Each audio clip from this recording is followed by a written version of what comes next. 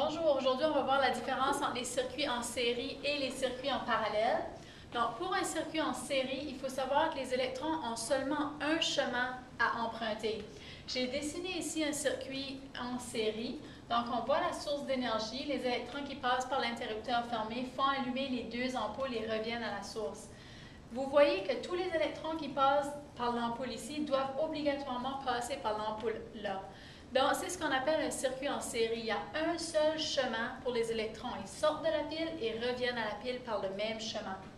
Dans ce cas-ci, si une résistance ne fonctionne pas ou une ampoule brûle, toutes les autres ampoules du circuit ne vont pas fonctionner. Pour que l'ampoule fonctionne, pour que la résistance fonctionne, il faut que les électrons puissent sortir de, la borne négative et revenir à la source. Si l'électron n'est pas capable de revenir à la source, tous les appareils du circuit ne vont pas fonctionner.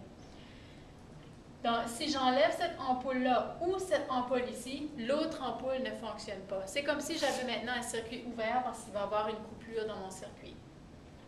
Étant donné que ce sont les mêmes électrons qui passent par la première ampoule et par la deuxième ampoule, les ampoules vont briller plus faiblement parce qu'il y a de l'énergie qui est utilisée à chaque résistance pour convertir l'énergie électrique en énergie lumineuse. Ça prend l'énergie. Et l'énergie qui est perdue, c'est les mêmes électrons qui passent par chacune des résistances, ce qui fait que ça brille moins fortement finalement.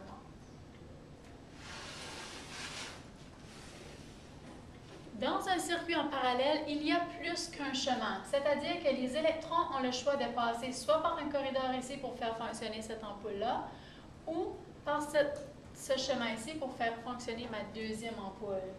Dans ce cas ici, si une ampoule brûle, l'autre ampoule va continuer de fonctionner. Donc, même si je brise cette ampoule ici, j'ai quand même des électrons qui peuvent aller par ce chemin ici. Étant donné que les électrons arrivent, ils ont soit le choix de passer là, de continuer ou de passer là, le fait que ce chemin-là est brisé influence pas le fait qu'il y a des électrons qui peuvent se rendre à cette ampoule ici, et donc elle va rester allumée. Maintenant, les blancs vont briller plus fortement. Ce ne sont pas les mêmes paquets d'électrons qui voyagent dans les deux chemins.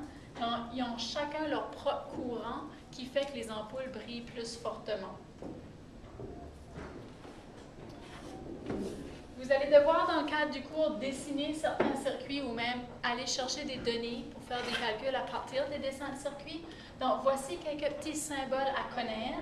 Vous devez savoir que ceci représente un interrupteur fermé. Voici un interrupteur ouvert. Vous avez les lignes qui représentent les conducteurs, tout simplement, ou les fils électriques. Un petit cercle entouré d'un cercle représente l'ampoule. Et les zigzags, comme ça, représentent les résistances. Les résistances peuvent être n'importe quoi, comme un ordinateur, un séchoir, ou n'importe qu'est-ce que tu branches dans le mur.